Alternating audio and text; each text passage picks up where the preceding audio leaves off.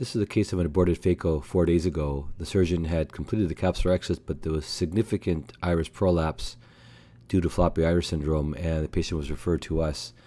Some phenylephrine lidocaine mixtures and put into the anterior chamber.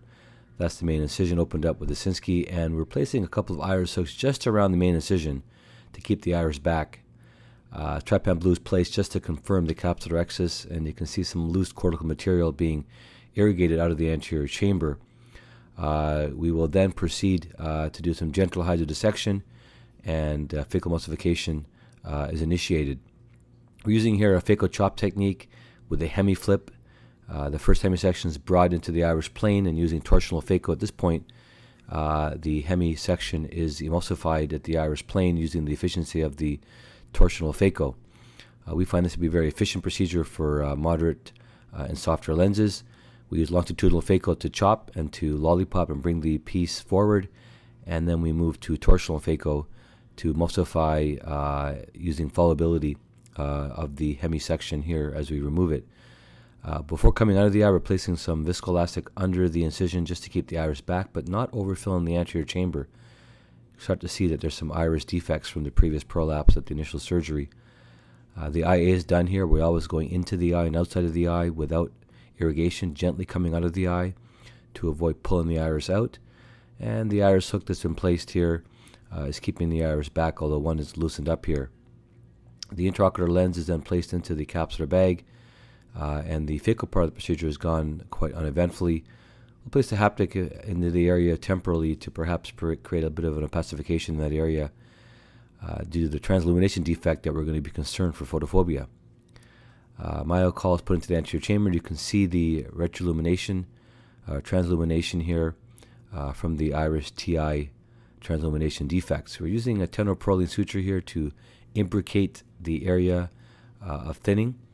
This will hopefully reduce the uh, likelihood of postoperative photophobia for this patient. Uh, note the carefully placed incisions. This is a 10-0 Prolene on that long, say a four needle, facilitated with an iris forceps or micrograsper. Uh, we're now pulling the um, sutures out of the eye using the microtine forceps here. I'm demonstrating here a technique uh, that's been called the McAmid technique. It's a modification of the mechanical technique using these microtine forceps to uh, grab the suture and push it into the eye. We're looping around the long end and grabbing the short end. Keep the short end less than one corneal diameter length, uh, flattening the knot, making it into a ball, and pushing it now into the anterior chamber very carefully without uh, putting traction onto the iris. A second microtire can be used as well here uh, to help bring the iris together, and then we lock the suture after we bring up both ends uh, outside the eye. Typically, a 3 1 or a 3 1 1 is used and we are locking these to make sure they don't move and a micro scissor is used to cut.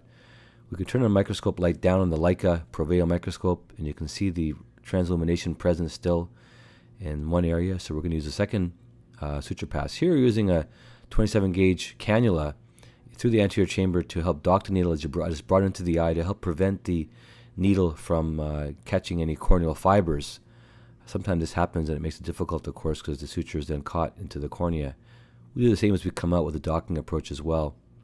We now have that suture pass and we bring both ends out of the eye. The long end is looped around the microtine forceps.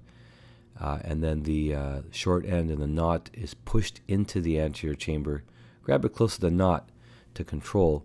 And now you see we have a nicely imbricated um, iris defect. Uh, this is important as patient had iris prolapse uh, at initial surgery with thinning of the iris, and this could create significant photophobia and we're able to manage this aborted phaco with NIOL in the bag as well as correction of the majority of their translumination defects.